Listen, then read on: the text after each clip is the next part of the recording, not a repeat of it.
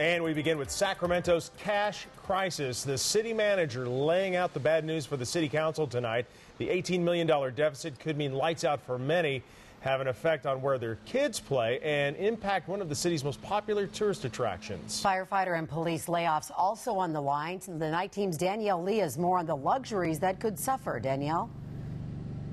For starters, you may need to get used to spending more time in the dark. Repairs to streetlights and traffic signals are just some of the things the city may be reducing funding for.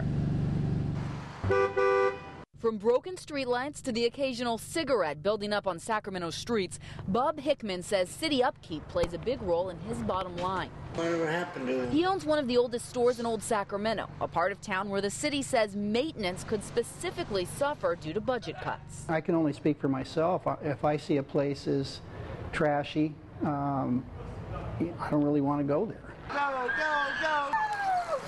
Same goes for Southside Park, where Aaron Williams loves to take his daughter Sierra Lynn. Cleanup is just one of the areas the city may be having to cut back. We don't want to see our babies grabbing these kind of things, and we, we want clean parks. Also on the Parks and Recreation Department's reduction list is a sports and social program for people with disabilities. Dozens showed up at City Hall to ask the city to save the program. They say it will nearly be eliminated under the current proposed cuts. Well, I wouldn't get to do a lot of things, yeah, like uh, socialize with friends. These programs are important to me.